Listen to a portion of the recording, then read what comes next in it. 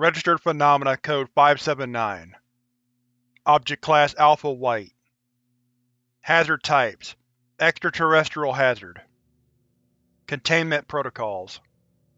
RPC-579 is held on a secure server in the Authority database, and may be accessed freely by Authority personnel.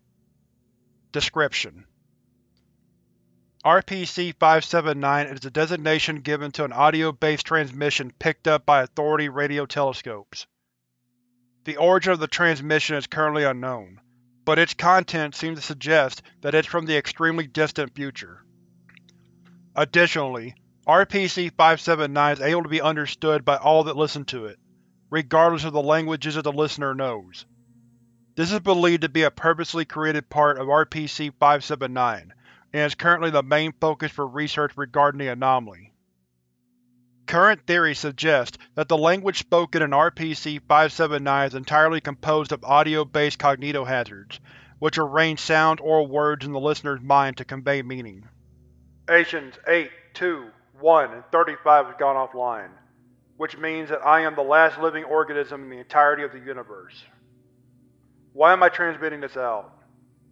I am alone orbiting a black hole that has kept the last of life in the universe alive for some billions of years.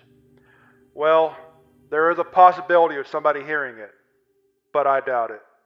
I mean, we used the last free piece of matter left in the universe some 200,000 rotations ago, and only now the power has finally gone out. I am only alive because I had a spare tank of oxygen and an EVA. I decided to head to the main control room, hoping that I could release a piece of the spear to the black hole, just to give us an extra few rotations. But there was no more spear left to give. I managed to make contact with some others who had managed to get an EVAs when the power cut out, but one by one they died, and now I am all that is left. My grandfather used to tell me stories that were passed down from generation to generation. In one of them, he claimed that there used to be twinkling white lights in the void. Stars, he called them. Massive balls of gas that were ablaze from the fusion at their core. The theoretical science made sense, but it's hard to imagine anything other than the singularity. I only have about 10 minutes left of my oxygen. 10 minutes until the last star goes out. Suffocating to death doesn't sound like a good way to go, and the engineers appear to have also thought this as the collapse sequence appears to have almost been initiated.